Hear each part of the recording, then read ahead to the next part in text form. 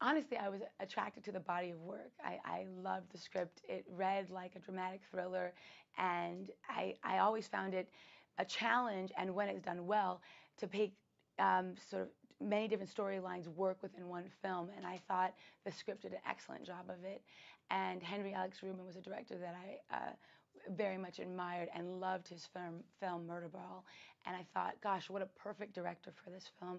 It should feel uh, very voyeuristic. It should feel as if we are um, looking into the lives of any American or any human being in the world, quite frankly. It's really a human story, and it's really a story about human beings living in this new age where internet and the digital age is going nowhere. And, so, and how are we now interacting as human beings with one another, and how does that affect our relationships?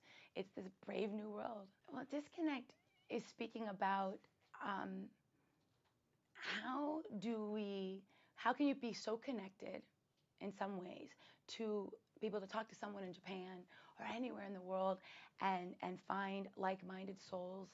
And yet you can have a, a, warm body in your house and not be interacting with them how do we find our way back to one another and and find a balance? And and and I think really it, it examines the, just the life that we're all living in right now. And it's a cautionary tale in some ways.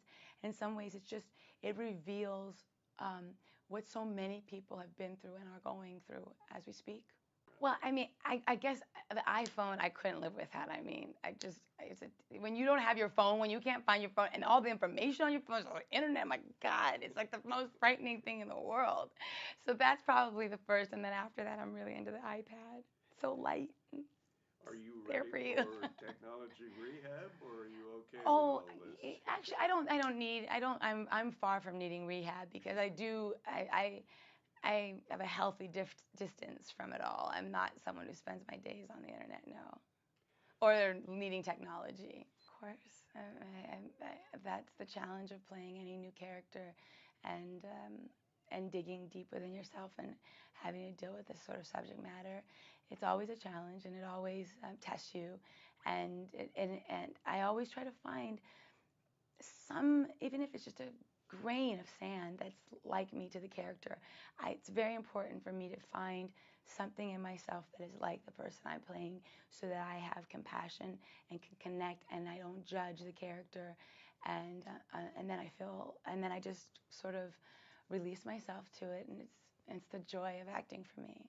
I mean, no, I'm, I honestly is remembering that even when you're going through tough times, be like this, I love this person, and can I back off this issue, pick your battles. I mean, I think Cindy Hull loves her husband dearly and is reaching out to him, and he um, is not there for her. And and we all find ourselves in a time when you feel like you've lost everything, and you find yourself in a very desperate place, and then you make a connection with somebody, and and but then when your husband comes back to you, and you have to fight for your lives to get your life back and right the wrong that's been done to you, you team up and you sort of are thankful for um, this terrible thing that's happened because in, in many ways it brings them closer together and makes them realize that material things are not important, but their love is most. Henry's a great director in that he understands how much to um, give and then lay back. You know, we he he creates a scene and lets you know what he needs out of it, and then he gives the actor the room to feel it out. Oftentimes, we would get into a scene and we wouldn't actually know exactly how we'd want to shoot it or where we feel like we'd be sitting and and and we would just play it out and play it out until we felt comfortable all of us. And in that sometimes the dialogue changed a bit or or our reactions to one another. You, you, can't guess what that will be, and that's to me when acting's at its best and the most fun is when you don't know what you're going to do next. You were completely in the moment, and he allowed for that kind of environment. And even better than that, he really never had the camera in your face.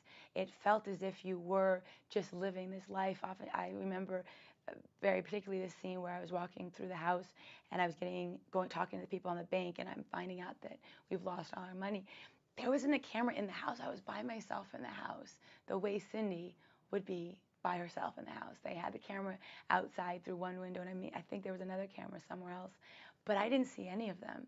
And gosh, it was a really amazing experience. It it really helps you uh, feel like it's as real as can be.